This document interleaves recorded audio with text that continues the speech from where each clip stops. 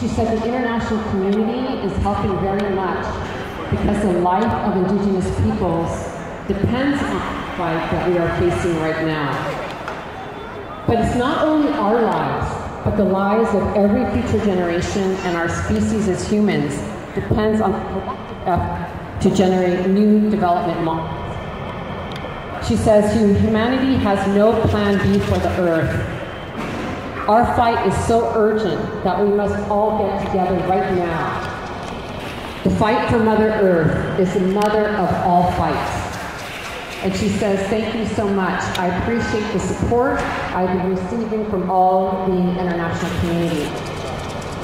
So that's from Sonia Guajajara. And um, I think it's, it's really powerful to be lifting up the voices of the women specifically.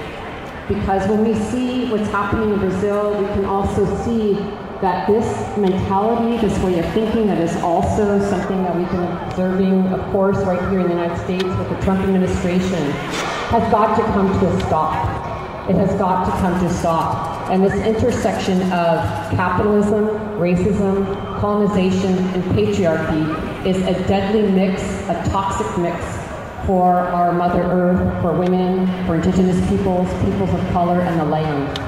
And I really want us to unite behind understanding that these ideologies and these systems of oppression are what we're fighting against collectively together when we're fighting to protect forests, when we're fighting to protect water, when we're fighting to protect land, when we're fighting to protect the climate, when we're fighting to protect future generations and indigenous rights. We are fighting the same systems of oppression and today is a day we can find strength as we look into each other's eyes and we dance and we pray together and we sing and we remember who we are and that we are much bigger, much bigger than these systems. And our love for Mother Earth, our love for each other, our love for our children, our love for the land, our love for the water, our love for the forest is so much bigger than these systems. And it can seem like they are bigger than us, than these big banks, corporations, these governments, they are not bigger than us. Their energy is not bigger than us. We can change the world, and we are, and it's happening. And I know it's really devastating to see all the destruction that we're experiencing right now and the grief that we're having. But take heart with each other, my friends. Take heart with the collective action that we have because we will win.